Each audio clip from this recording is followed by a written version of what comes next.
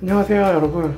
철물박사TV의 철물가이드 메탈팬더입니다. 오늘은 지금 이 바닥에 있는 것처럼 욕실이나 다용도실 같은 데 있는 이런 바닥 배수구 있죠? 바닥 배수구에 관련된 팁 아주 간단한 거 두 가지만 소개해 드리도록 하겠습니다. 원래는 이 아래쪽에 이제 배수구 뚜껑이 있어야 되는데 이렇게 뚜껑이 아예 없는 경우에는 이제 이쪽으로 이제 머리카락이나 이물질 같은 게 그대로 흘러내려가서 이제 배관을 막을 수가 있기 때문에 꼭 이거를 처리를 해 주셔야 됩니다. 일반적으로 해결 방법이 이 바닥의 배수구 자체를 다 이제 뜯어갖고 통째로 이제 교체를 하는 방법인데 이렇게 하려면은 뭐 여기다 백시멘트 작업도 다시 해야 되고 뭐 여러 가지 좀 번거로운 부분이 있어서 손쉽게 이렇게 시도하기에는 좀 어려운 부분이 좀 있습니다. 그런데 이럴 때 이렇게 배수구 뚜껑만 이 커버만 이렇게 별도로 구매해서 이제 얹어줄 수가 있거든요. 지금 보시는 것처럼 뭐 다양한 사이즈의 이제 그 배수구 커버가 나오기 때문에 어, 여러분들이 바닥에 있는 이 배수구의 사이즈를 한번 재보신 다음에 가장 비슷한 사이즈의 커버를 가져다가 그냥 이렇게 덮어만 주시면은 어, 간단하게 배수구를 통째로 갈지 않고 이렇게 문제를 해결할 수가 있습니다. 근데 욕실은 그냥 이렇게 일반적인 커버를 가져다 끼우면 되기는 하는데 만약에 여러분들이 이제 다용도실에 이런 일반 커버가 씌워져 있는데 세탁기를 놔야 된다. 그러면 이제 세탁기 호스가 나올 거잖아요. 그럴 경우에는 이런 일반 커버를 쓰시는 게 아니라 아, 이런 식으로 세탁기를 끼울 수 있는 커버가 별도로 나오거든요. 네, 이런 커버를 가져다가 이렇게 끼워 주셔도 상관이 없습니다. 그리고 이렇게 세탁기 커버를 쓰시다 보면은 이 아래쪽 판 이 커버 부분은 이제 스텐으로 돼 있어서 튼튼한데 이 위에 부분이 이제 플라스틱이라서 이 부분만 이렇게 깨지거나 부러져 갖고 기능을 못하는 경우가 생기거든요. 그런 경우에는 이 부분을 이제 세탁기 엘보라고 부르는데 이 부분만 별도로 이렇게 빼서 교체를 할 수 있으니까요. 이 부분도 참고로 알아두시면 좋을 것 같습니다. 자 이제 마지막 팁인데요. 자 이렇게 바닥에다가 배수구 뚜껑을 씌워놓고 이제 오랫동안 쓰다 보면은 나중에 이제 이 배수구를 청소를 하고 싶어서 뚜껑을 빼려 그러면은 잘 안 나오거나 나오더라도 굉장히 힘들게 이렇게 빼야 되는데 아, 이럴 때는 이렇게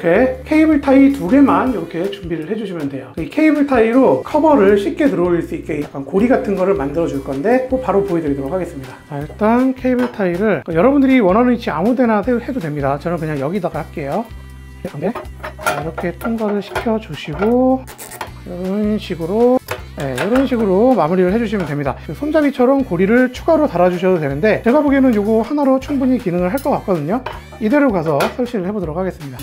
이렇게 얹어놓고 사용을 하시다가 여러분들 뭐 청소가 필요하거나 아니면 뭐 커버를 뺄 일이 있을 때 이 고리에다가 손가락 껴서 그냥 들어 올려주시면은 편하게 이렇게 사용을 하실 수가 있습니다. 오늘은 이 욕실 및 다용도실 바닥에 일반적으로 있는 그 배수구 커버 있죠. 그 커버에 대한 팁을 좀 소개를 해드려 봤는데요. 평소 이제 바닥 배수구 커버를 교체하고 싶으셨던 분이나 커버가 없어갖고 좀 곤란하게 생각하셨던 분, 아니면 이제 바닥 배수구 청소할 때마다 그 커버 벗기는 게 힘들고 불편하게 느껴지셨던 분들이라면 오늘 영상에서 소개해드린 내용이 그런 분들에게 조금은 도움이 될 수 있을 것 같습니다. 오늘 영상은 간단히 이쯤에서 마치도록 하겠고요. 저는 다음번에 더 유익한 영상으로 다시 찾아뵙도록 하겠습니다. 감사합니다.